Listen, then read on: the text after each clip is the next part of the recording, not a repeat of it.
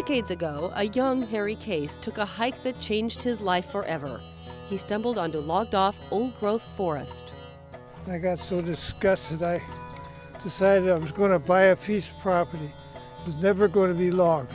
Harry was just 18 when he purchased this 176 acre forest on Whidbey Island. The year was 1947, and the land went for five bucks an acre. Over the years, Harry has refused to cash in by selling to developers. This is always going to be forest lands, forest forever. I don't even figure what it would be worth cut up into tracks. It's a horrible thought, because it would ruin my day. 62 years ago, the Whidbey Tract was young. Most of the hemlock, firs, and pines just saplings. Harry and his trees grew up together. He older, they taller. Now at age 81, Harry's forest towers above him. Well, there's odor coming in every place.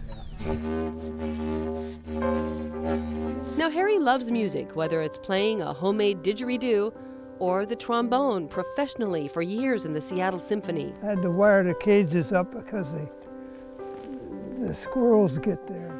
Today, Harry's favorite music is probably birdsong. He always brings treats for his winged friends. Oh. In order to ensure his forest forever, Harry's donated the property to the Whidbey Camano Land Trust. His grandson, Sean Connor, will carry on after he's gone. It's, it feels like a privilege, you know, um, to be able to carry on what my grandfather started.